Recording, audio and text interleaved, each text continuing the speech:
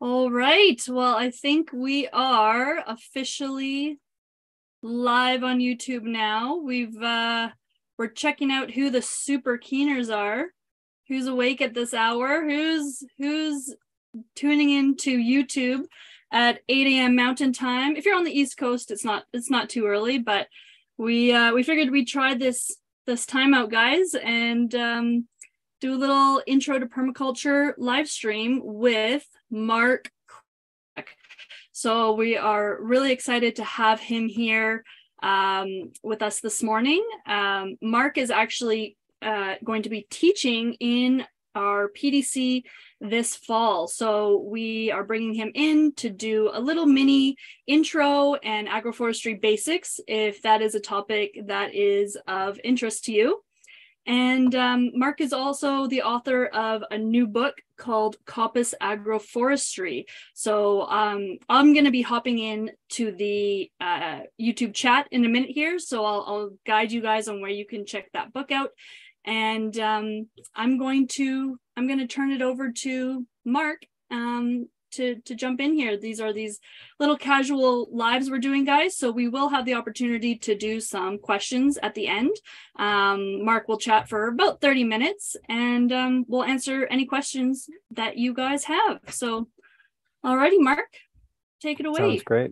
Excellent. Sounds great, Jen. Thanks so much. And thanks for to Mitch for helping on the uh, the uh, IT side of things here. Um, it's great to be with you guys. I'm going to just launch right into some screen share stuff here. And um, yeah, I I'm really happy to once again be part of the Verge team for this upcoming PDC. Uh, they do such a great job getting word out in a very professional and thorough way, and I've built a great team that I'm I'm proud to be a part of. So, um, thank you guys for making this happen. Um, tiny bit of background about myself. So I live in Vermont in the, in the States, and my wife and I have a small farm. We primarily grow shiitake mushrooms and a few different kinds of berries, especially black currants. Um, the name of our farm is Valley Clayplain Forest Farm. We're on about 52 acres, but um, a lot of our agroforestry enterprise is on about 11 acres or so, um, not all of which is planted out necessarily.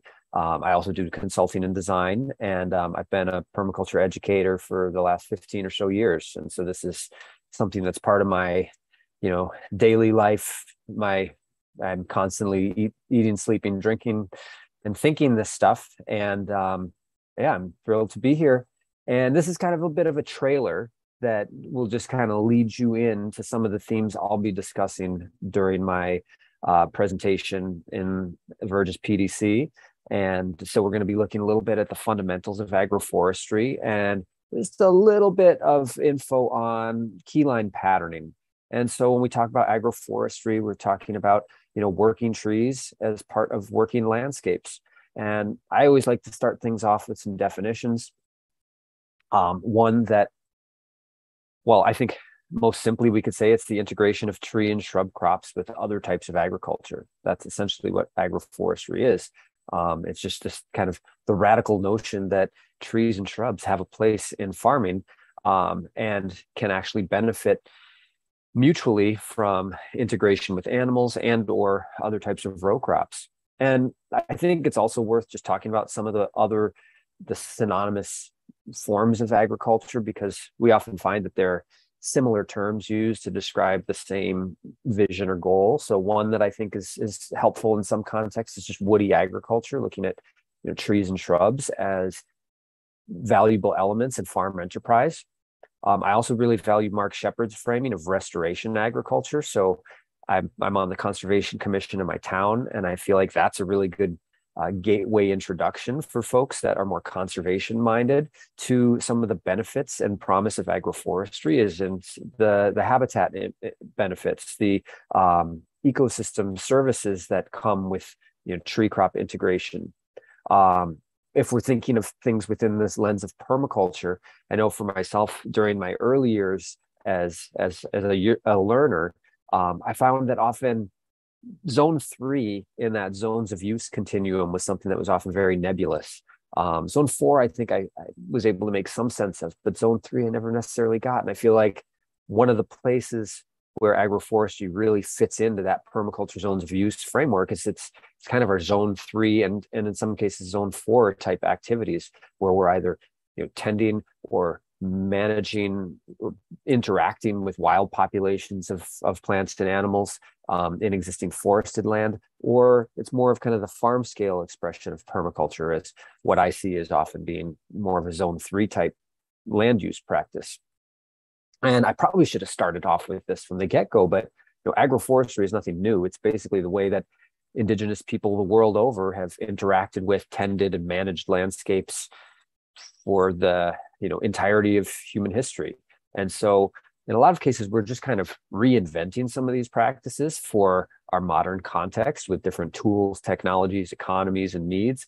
But fundamentally um, you know we're really just learning from the ways people have interacted with landscape um, recognizing that trees and shrubs are vital parts of um, holistic and diverse and ecological land use practices. And i think especially if we're looking to build bridges along with more conventionally minded growers, um, be it um, extension agents or university professors or um, you know PhD type folks, along with um, just more conventional farmers. Agroforestry is a really fantastic um, kind of inroad into the language and the more practical framing that we really need to look at when we think of how permaculture might inform a more uh, reasoned, thorough, holistic, and diverse farm um, vision and practice. So let's see here. So just some fundamentals again, and I'm going to go into more detail when we get into this in the class. But um, when we think about you know the com- constituents or the component parts of agroforestry, it's kind of simple, although it can get quite complex. But we have a nice quote here um, from Michele Schoeneberger. Agroforestry represents a fluid continuum among trees, crops, and livestock, ranging from a few trees established within a field or pasture to multi story forests managed for a variety of products. And so I think that idea of a continuum, that it's not necessarily these kind of fixed system point in time expressions, right? It could be literally tending the forest and doing you know wildcrafting in the understory. Or doing timber stand improvement thinning to harvest wood products for craft materials or fuel wood or for mushroom production. Um, and then at the other end of the continuum it could be literally like rows of trees with some type of herbaceous forage managed in between those rows but the main constituents are going to be trees livestock and more often like herbaceous crops. And so again this kind of graphic on the right hand side here um, the idea of this being sort of this continuum um, in which some or all three of these elements may be represented as a good one. When we start to talk about you know more conventional agroforestry theory and practice what we often see is um, actually I see six here, um, six main practices that are recognized and described when you get more into the kind of academia um, theory and practice around agroforestry, or just really the more nuts and bolts practices that we tend to see in in um, and you know recognized by like the United States Department of Agriculture and I'm less familiar with some of the uh, Canadian institutions, but I imagine there's probably a lot of overlap. So um, when we talk about these main practices, these are the ones here alley cropping, which generally describes rows or belts of trees or shrubs with other things happening in the alleys between. Generally, that's going to be livestock grazing, or it's going to be some type of row cropping. So we could be growing um, a grain, we could be growing corn or soybeans, um, it could be winter squash or garlic. Um, this can be done again at various scales so we can really shrink it down to be more homestead scale and then this could be expanded to you know covering hundreds or thousands of acres as well. Um, silvopasture the words a contraction of silva meaning you know latin for wood um, directly related to silviculture the growing and cultivation of trees along with pasture grazing. And so it's the idea of bringing animals into some type of forest cover and it's looking at the benefits that emerge when we do that and it doesn't necessarily have to be forest cover either. It could be within, you know, an orchard system. Um, and that orchard system could be in rows, or that silvopasture may be more of a savanna type ecosystem. Windbreaks and shelter belts, which are often used to create some protection from um, wind or provide visual screening, um, or maybe perhaps some filtration from odors. Um, just another expression of agroforestry. These may be focused more around just the ecological functions they provide and less on actual like crop production, although obviously those things could be married together and they could be providing multiple benefits. Um, riparian buffers, riparian buffer strips, the term riparian describes areas adjacent to water. And in many cases, these have been some of the most um, uh, frequently cleared and um, more vulnerable ecological um, components of our landscapes because often more large scale agriculture tends to occur in our valley bottoms. And we often see that agriculture extending like right up to the edge of our waterways with land cleared all the way to the edge. And in many ecosystems these areas are naturally um, you know blanketed with a diverse buffer of trees and shrubs that help filter nutrients, prevent erosion, stabilize the banks, create valuable corridors for wildlife, shelter and shade the water and keep it cool. And so we see a lot of good restoration work that's going into reestablishing riparian buffers. And agroforestry just becomes another mechanism to help inform and incentivize um, the development of riparian buffers. Next, uh, would be hedgerows, belts, rows of trees and shrubs that partition spaces often between fields. And these could be living fences. They also could just be windbreaks. Um, we see that there's some overlap as we start to get into some of these systems because your hedgerows could also be part of an alley cropping silvopasture system that also provides shelter um, or you know windbreaks. And then last in this in this uh, kind of set of systems be forest farming the idea that we are actually using the conditions in a natural forest as the kind of um, guiding and organizing characteristics around a farm enterprise. And so, in most cases, this means we're going to be looking at crops that can handle a bunch of shade. And so, things like ginseng and golden seal and black cohosh, um, along with mushrooms, uh, both wildcrafted and cultivated are some of the more common elements of forest farming. And um, so, yeah, essentially, oh, I should have, I forgot that I had this little build out here. So um, we got some examples, in this case, alley cropping, uh, an alley cropping silvopasture system with cows grazing between rows of, um, I'm going to say these are slash pines down in the southeastern United States um, growing for timber. Here's a silvopasture that's a little more savanna-esque, it appears, in its patterning. So less linear, more clumpy, patchy. Um, we've got shelter belts protecting uh, farm complex and a house here in the, in the plain states. Um, over here, we're looking at uh, riparian buffer that looks, you know, pretty pretty filled out along this waterway. It does get a little thin in a few spots, but certainly better than what we often see in agricultural landscapes. Um, hedgerows, partitioning fields there in the UK, and um, and then we've got some understory wildcrafting going on here with some um, shade tolerant medicinal herbs in the understory of a forest. So one thing we'll get into in a lot more detail in my lecture during the class is um, actually starting to drill down and look at what it is that makes each of these systems a system, right? Because alley cropping itself isn't really a system, it's more of a practice, it's an expression of agroforestry and the landscape. But what are all the pieces that together make up an alley cropping or agroforestry system? And so this is just my um, suggestion as far as a way of kind of organizing these different elements along this um, more structured um, uh, what do we call it? framework, I suppose. So one thing that makes the system a system would be the land use pattern. And that's really gets back to the constituents that I showed in that earlier slide with the, the triangle graphic um, that we either have livestock, crops, um, a forested canopy, or just some type of trees and shrubs. And so what are those elements that are all a part of that system and how is it broadly expressed? Um, the species are obviously a key part of the system. So that could be tree crops or berries. That could be the livestock and or the annual or herbaceous perennials. Um, the products and economics are a huge driver of agroforestry because when we talk about farm scale permaculture, agroforestry, it really needs to be viable economically. It needs to kind of carry its own weight um, to help incentivize the both installation and then long-term management of the system. And so that's that's a key foundation is the, the financial side of things.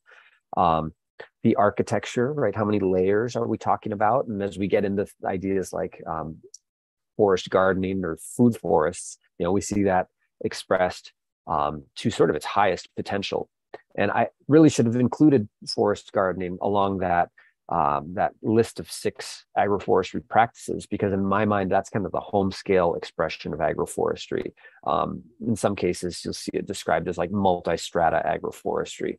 But um, we think about how many layers, how many different crops can we stack into the same space and make optimal use of water, sunlight, and minerals and space. Um, and then another element to these this framework would be the the time expression of it. What are the intervals between harvest and production? Um, and that's going to be a big challenge that we need to address as we think about design. If we're looking at systems that are, um, you know, financially viable, is if we're looking at you know nut trees or fruit trees there's going to be five to ten years before we're really seeing much of a return on that investment. So are there opportunities in the interim to kind of capitalize on that extra space um, and and generate some income in the short term? Because for people whose livelihoods really revolve around farm production um, you know they can't necessarily afford to uh, forego those short-term returns for the long-term promise of agroforestry. And then last would be the way that the system's expressed in the landscape. So what's the pattern and what's the spacing? Um, and when it comes to spacing, we're especially if we're talking about rows, we're talking about the spacing within the row. How many feet or meters apart are the plants within a row? And how far apart are the rows themselves? So that's the within row and between row elements of spacing. Um, and then similarly, um, we can think about the different patterns that that system may express and this could be like patches or clumps in a more irregular type savanna uh, expression like we i showed a few slides back. But also it might just be in straight rows which is going to be a lot more practical for any type of cropping system um, that especially one that's mechanized. And so that row those rows could follow a grid pattern. They could be on contour. They could follow keyline and i'm not even going to begin to try to describe keyline to you all right now because it's kind of its own topic altogether, but I did just want to address it briefly because, um, again, this is a little bit of a teaser as to what I'm going to be covering once we get into the class proper. And um, keyline as a practice is something that was developed by P.A. Yeomans, a farmer and mining engineer from Australia, who was really looking to restore vitality and resilience to uh, a much abused Australian farm landscape in the 1940s, 50s, 60s through a number of books on his concept of keyline design, which is a holistic approach to land planning. And it's focused really around um, the acknowledgement of the fact that the topography is one of the most fixed aspects of our landscapes. And so our farm design, our infrastructure, plantings, access, all ought to revolve around our appreciation and knowledge of the topography. And so the geography of the landscape is something that's really crucial to us understanding that. And I just have a few aerial images that give you an idea of what a keyline farm layout might look like um, and some different climate types in different parts of the world. So here we are at Wolf Gulch Farm in Jacksonville, Oregon. We can see, you know, uh, water catchment placed in the landscape and these contour-esque but not quite true contour layouts of the rows that are you know capturing and storing um, or helping infiltrate any water as much as possible but what keyline looks to do is actually try to disperse that water across the landscape as evenly as possible as well um, so Darren Doherty is, is a teacher of mine. He's um, based in Australia, but has traveled all over the world for the past uh, I should have said the last uh, farm I believe was designed by um, Tommy Hazel in um, in Oregon. Um, in this case, this is a project designed and, and installed by Darren Doherty in Australia. And here we can make out what that patterning looks like in a valley shaped um, farm landscape. In this case, we've also got the access roads connected as catchment, feeding high water storage ponds that can be used for gravity irrigation. Um, folks may be familiar with the work of Mark Shepard at New Forest Farm in southwestern Wisconsin, where we have um, an alley cropping system that integrated grazing animals along with row crops um, to a apple, hazelnut, and chestnut, and others. But I believe those are the primary crops. Um, agroforestry type system. And so here you're seeing the layout of the trees and how that ultimately responds to the topography. There's a, a valley here and a broad ridge here. And so the pattern really looks to follow that as opposed to just like straight rows that follow a fence line, which is what we often tend to see in more conventional farm approaches. Um, a very dynamic landscape designed and installed by Grant Schultz in Iowa City, Iowa, um, at his farm that I believe is no longer active, but Versaland. Um, and in this case, we're looking at the the I believe these are either one or two foot contour lines in black um, overlaid on top of the ultimate layout of the trees. And so again, the goal vision there is optimization of water, minimization of erosion um, in the layout and patterning of the land. Here's another one of Darren Doherty's designs. Again, we're going to get into all this in much more detail in the class, but just a little taste of what one type of patterning can look like in an agroforestry system. So with the last 10 or so minutes, I'm just going to give you a real quick uh, little overview of some of the promising species and um, some examples of case studies, like how does the stuff look in the landscape? And we're going to get into these in more detail during the class. Um, I'm not going to read all this off right now, but you know, when we think about the architecture of an agroforestry system, we often tend to start with the canopy, both because it's the longest term return on our investment, um, and it's often kind of the anchor of the system. And so, in that case, we're looking at things like nuts and fruits and timber and fuel wood um, as the main products or economic um, outputs of our canopy. Obviously, not listed here would be all of the ecosystem benefits as well. Um, for people that are grazing animals, shade and protection from wind um, and cold is key among them, I would say too. So uh, that is sort of missing here, um, along with erosion prevention and water infiltration, carbon sequestration, and soil improvement and formation. Um, and then, you know, as we move down one layer, often when we're talking agroforestry, it's you know trees and shrubs are the main woody elements of our production, and so there's a lot of options for small fruits, um, especially for cold climate folks like myself and uh, you know the folks uh, part of the Verge team, uh, we're often thinking about what types of things yield really well, um, especially pretty quickly given how short our growing season is. Um, and so I'm a big fan of a lot of the different types of small fruits, especially as a way to, you know, during the early years of system installation, kind of help monetize um, the uh, the, the in, implementation over time. And then what's also missing here um, I don't have any detail on it, but obviously would be whatever livestock elements you have, and that would include species, so cows, sheep, goats, pigs, poultry, um, along with the breeds, because certain breeds may be better suited to different types of conditions. And then also, you know, again, this could be part of uh, a more annual or herbaceous perennial row crop system. You could be growing cut flowers, you could be growing grains, you could be growing corn.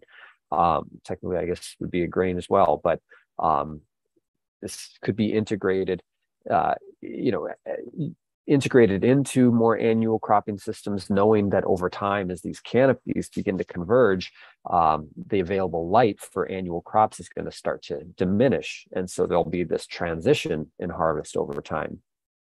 So real quick, I'm just going to give you a little bit of a taste of some of the different ways people have creatively developed systems that are built around the realities, both the resources and constraints of the places where they lived, like Indigenous Californians. A book that I found to be super informative and inspiring is Tending the Wild by M. Anderson. Um, just looking at the, the different practices Indigenous Californians used to modify, enhance, diversify um, the landscape and support themselves in a um, horticultural fashion, despite the fact that they would tend to move throughout the larger landscape seasonally um, in order to access resources that were available at different points in the year. And so we can see some really brilliant, visionary, inspiring ways of um, you know, diverse and mutually beneficial interaction between people and landscape expressed in the practices of indigenous Californians. Um, one of the more well-known expressions of agroforestry is known as dehesa in Spain and montado in Portugal. And uh, I believe this covers about two thirds of the Iberian Peninsula, which is the European region, including Spain and Portugal. And essentially, this is like a managed savanna um, where we see primary canopy species being um, a couple different types of oak, Quercus suber and Quercus ilex. Um, Quercus suber being the cork oak, and in that um, upper left photo, we see these gentlemen harvesting the outer bark from cork oak trees that is the source of all cork. All cork products come from the sustainable harvest of cork, which is pretty remarkable. I believe every 10 or so years, they're able to literally strip the outer bark off of cork trees. Um, and so there's kind of this, this, uh, you know, long-term I wouldn't say it's necessarily mutually beneficial, but it's a sustainable expression of um, you know land management and resource management expressed here. And the understory is primarily used for grazing livestock especially pigs. And the jamón ibérico de bellota is one of the more famous products coming from these dehesa landscapes with um, pork that is um, fed out during its last few months of life on fallen acorns. And the flavor and quality of that meat is unparalleled and valued accordingly with you know um, this this product fetching upwards of $100 or more per pound. So um, a lot of people are already familiar with Dehesa, but it's one of these ancestral systems that continues to be practiced today. I should say, I don't have a slide in here, but in my part of the world, um, maple syrup har- harvesting is one of the few um, expressions of agroforestry that kind of continues to be uh, practiced, where it's a true forest farming system. We're managing forested landscapes in more of a wildcraft type tending way as opposed to you know planting um, the landscape. And uh, and it's something that's still quite viable and you know practiced widely. As we looked at the tropics we see a lot of inspiration because the shorter lag between planting and harvest makes agroforestry just kind of widely appropriate. Also coupled with the fact that often this is more human scale um, and um, landscapes tend to be more complex with um, soils that tend to uh, be more deficient in terms of their nutrient holding capacity. Multi-storied farming just makes a lot more sense because of the way nutrients cycle through tropical and subtropical ecosystems. Um, in this case, we see a brilliant system, including tobacco, chili, cinnamon, and coffee providing both like short-term yields in the tobacco and chili, medium-term yields in the coffee, well, medium and long because the coffee is also shade tolerant, and then a long-term yield with the cinnamon. Um, I mentioned Mark Shepard's farm earlier, but we're looking at tree and shrub crops um, in rows and alley cropping system uh, that include a wide diversity of species. You can read more about this um, in his book, Restoration Agriculture. Um, Red Fern Farm in southeast Iowa is an agroforestry farm with a focus on um, some nursery crops, including seeds, scionwood, nuts, and fruits. They also have a U-pick element to their farm um, that includes species like cornelian cherry, aronia, hazelnut, pawpaw, persimmons, heartnut, Asian pear, and chestnut. Um, Shana Hanson is a um, uh, kind of a regional neighbor of mine who has a small um, goat dairy and she is basically tending trees in her forested landscape, um, harvesting the the tree hay or the, the, leafed out stems from trees um, as really valuable feed for her animals. And so this is a very human scale, small scale approach to um, managing a goat dairy and basically working with the resources she has rather than clearing out her woods altogether. Um, and also finding the benefits that come from um, feeding animals types of feed that they're especially adapted to. Um, at our small farm, we grow uh, shiitake mushrooms and that is kind of part and parcel with the forestry work that we do both on our farm and on near the farms or the landscapes of nearby landowners um, to selectively thin dense patches of smaller diameter trees and um, and then you know convert that wood into you know beautiful delicious nutritious uh, log grown shiitake mushrooms um, a friend and uh, nearby neighbor of mine, Buzz Ferver in Berlin, Vermont, has an amazing nursery. And so we increasingly see small scale nurseries emerging as a really viable way to both feed the increasing demand for um, tree crops and then also provide a really strong um, and compact way of de- generating some income while at the same time you know preserving enhancing and dispersing biological diversity to the larger community um, and uh, I'm going to just skip ahead here. I think I've just got a couple slides left. Um, friends and colleagues, uh, Steve Gabriel, Steve and Elizabeth Gabriel, um, own Wellspring Forest Farm. Steve's the author of the uh, Silvopasture book and co-author of the book on forest farming, uh, published by Chelsea Green. They're in central New York State, um, and they are also integrating livestock into um, into hedgerows that they manage both for fodder for the animals, often of willow and black locust and red alder, coupled with a few different types of small fruit production, like elderberry, especially. Um, they have a small stand of sugar maple that they manage and make uh, maple syrup. And then they've also integrated um, pastured duck, uh, pastured duck enterprise along with uh, log grown shiitake mushrooms as well.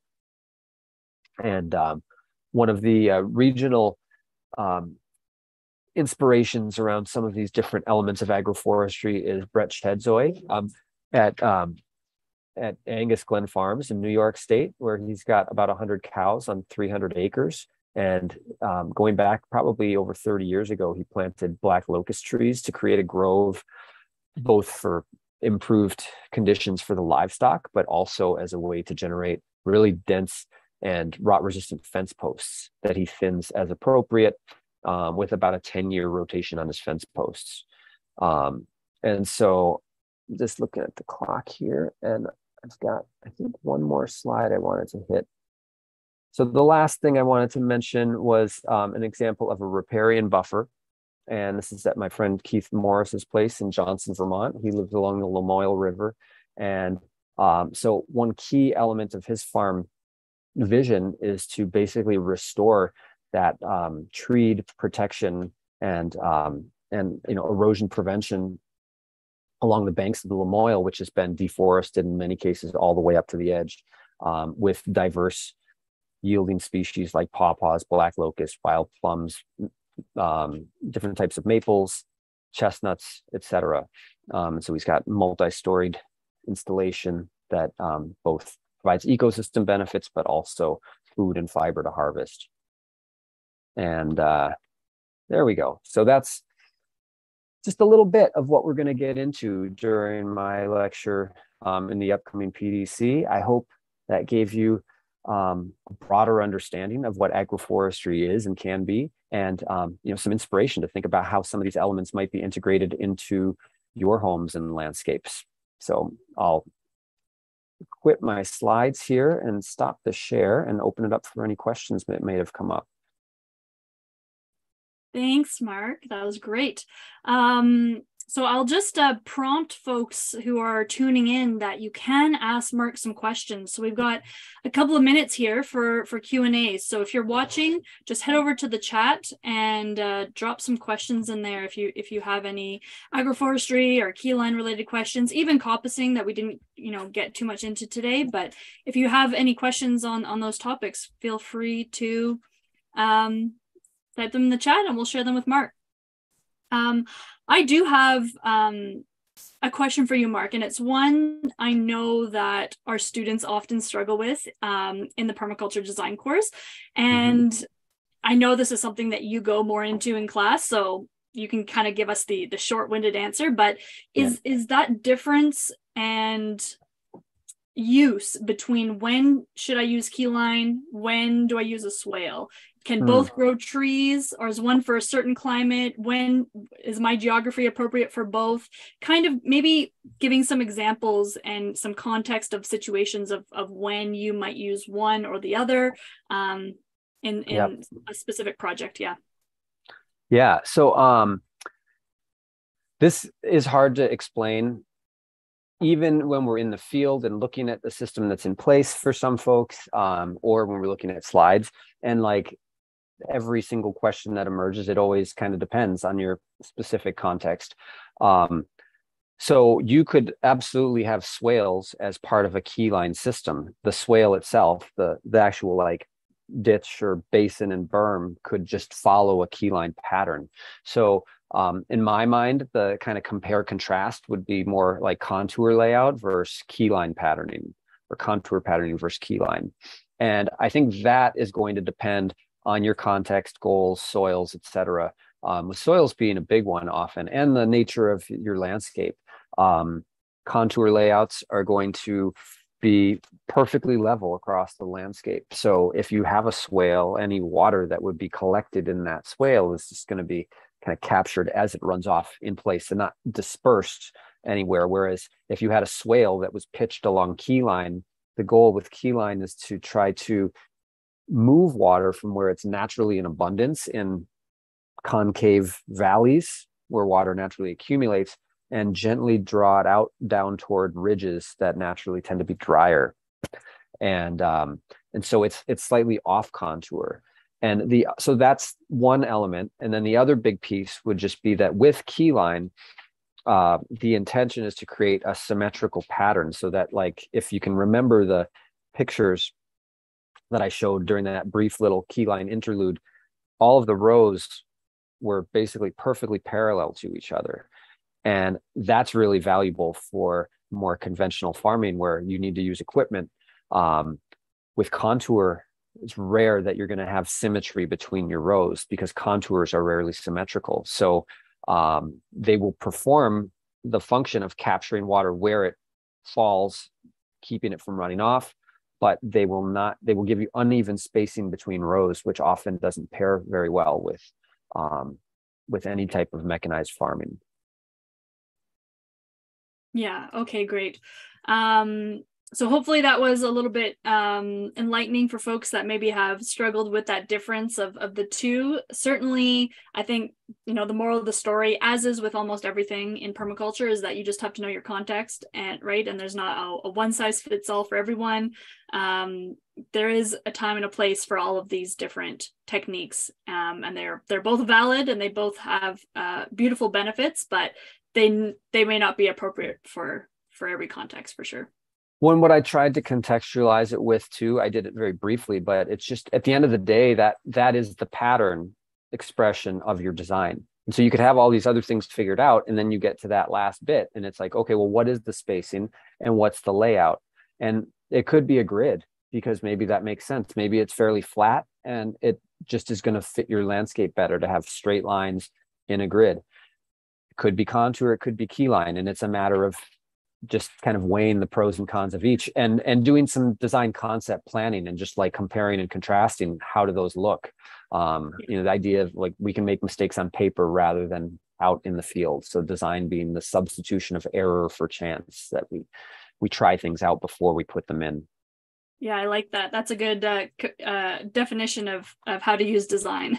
Mm-hmm. um great. So something that um, comes up for me and and i know for a lot of our students as well is in a situation where maybe i had you know 20 acres and i wanted to implement some type of silvopasture or alley cropping is there any livestock it, from, from your knowledge that does not work with a system like this? Is there is there a situation where you'd say do not integrate this type of animal or can i is there is it virtually I think so. Yeah. Yeah. No, I, I don't, um, I think the, so, um, I was in, in our hypothetical, it, I'm, I was imagining initially that you had open in like a field and you were thinking about planting trees. Um, in that case, no, I don't think so at all. Um, you design the system around whatever needs you might be trying to meet in the livestock species you're talking about. Um, agroforestry, especially silvopasture, in some cases has gotten a bit of a bad rap because um, sometimes what people will call silvopasture is literally just kind of turning their animals loose in the forest. And most people would say that's not silvopasture. Silvopasture would be targeted thinning of a forest to in, reduce the canopy enough that grass and forbs can grow in the understory. And so, like, you know, people, the idea of turning pigs loose in the woods, well, they can do a, it, the management element is really crucial to that. And so it's not that the animals won't necessarily thrive, although obviously, like, you know, cows or sheep in a dense forested canopy, there's just not that much in the understory for them to eat. So they're not going to find the, the nutrition that they might otherwise need. They're going to need a bigger area. Um, and then coupled with the damage that they can cause when they don't have adequate feed is that they're going to be, you know, over browsing certain things. They're going to be compacting stuff, you know, with pigs, especially some of the um, compaction that they can do. Um, and just damage to the understory. And so it's both a function of like management and timing. How long do the animals stay in any given paddock? but then also how have you tried to um, adapt the canopy it's generally going to come to the canopy how have you tried to modify the canopy so that their needs in the understory are also met? And so i would definitely say that that is an area where people should be careful if you're trying to convert existing forests to silvopasture yeah okay perfect. That makes a lot of sense. Um, we actually we have a, a question here in the chat from Michelle, and she is asking Is there a general rule for spacing for nut trees to start a canopy? Probably. Um, it would depend on the species. And uh, if we're talking nut trees, my head usually just like reverts back to like 25 to 30 feet as sort of the idealized canopy spread of any kind of like standard tree, if it's a fruit tree or a nut tree, you know, often 30 feet. Um, and that would be like the within the row spacing. If we're talking about something like hazelnuts, it may be more like 10, 12, 15 feet. Um, technically, it's not a tree, but I'd say again, kind of depends. I would spend a little bit of time to look at the the specific species, but somewhere in the 20 to 30 foot range um, they do talk about like black walnuts having a spread that can reach, you know, 45 feet. Um, I think that would be a little bit wide, though. I, that again comes back to how much space do you have and what happens in between. Um, the between row spacing can vary a lot depending on what you want to happen in between. Um, I've spaced a lot of my tree rows at 30 feet, which theoretically mean when the canopy is closed, there's very little light reaching the understory. Um, if I had more space, I might make that space that distance 100 feet or 200 feet or more, um, especially if I was doing more grazing or you know something else that's annual based in between. Um, so the the within row spacing, if you're trying to get them as tight as possible, I'd say in that 20 to 30 foot range, and then the between row spacing probably not any less than that, but it could be much more than that. Great. Okay.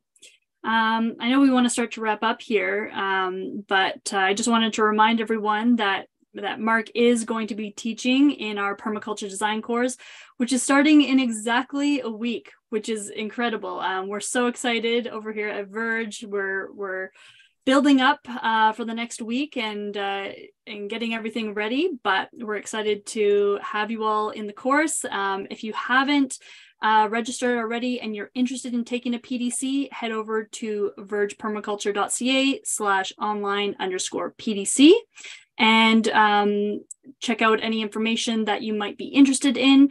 Or if you guys have any questions, you can also just send me an email directly. I am the PDC course coordinator. So you can email me at jen, J E N, at vergepermaculture.ca and I'd be happy to um, answer any questions that you might have. And not only is Mark teaching in our PDC this year, but he's also going to be a design mentor. So he's going to be there during um, selected office hours throughout these next couple of months, answering your questions, looking at your projects with you, um, marking your project potentially. Um, so he is an incredible uh, resource and a great value to us at Verge in uh, providing incredible knowledge on agroforestry, coppicing, and keyline. Um, Oh, we just before we wrap up here, we've got Mitch in in the chat here. He's got a question. Uh, just the last question for you. Um, I'm I'm gonna butcher this because I haven't heard of this, Mitch. But Mitch is asking, have you heard of daisugi or tried to experiment with daisugi? I'm, I think that's how you pronounce it. Um, I am not certain either. I don't know if that's the conifer sprouts. Um, let me look it up real quick and see what comes up. I believe, if I'm not mistaken, it's like growing um, stems on. It's D D I A S U G I. D I A S U G I. Yeah, it's a Japanese technique similar to coppicing used eh, the platform cedar. So yes, I, I've seen some incredible photos of it.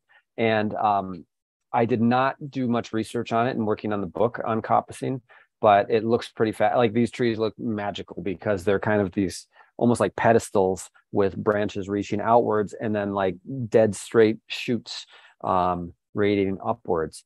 And uh, I am fascinated by it. I should know more about it, but um, it looks incredible. I didn't believe that the first few pictures I saw were real because they looked like they were from some like fantasy uh, comic book or something like that or a video game. So Daisugi looks very cool. I know very little about it, and I don't know that there's a ton of good info on it, uh, at least in English. I'm sure there's more in Japanese, but yeah, I'll try to learn more for the class at least, so I can have like a slide in there because that would be a good thing to include. Yeah, that's neat. I'm gonna have to watch some videos on that. Mitch, you'll have to let us know um, what videos we should watch on Daisugi. It sounds sounds pretty neat. Yeah. I haven't I haven't found any videos, just just some cool photos. Like that's cool. I wonder if Mark knows anything. I, I came across it and I was like, I got to get this book done. So I can't learn anything new that's not in the book yet. But um, for the class, I'm happy. I'll, I'll try to make sure I've got a, uh, at least one slide in it that gives some basics. Cool. yeah. Good. Okay, Mark. Well, we are going to sign off with you, and um, we'll see you in early December for your session with us on agroforestry and keyline in the PDC. Perfect. I'm sure it's going to be an awesome class. Um, I can't speak highly enough of it for folks that are thinking of taking it, and you are in great hands. So, great work, Verge team, and um, I look forward to seeing you all soon.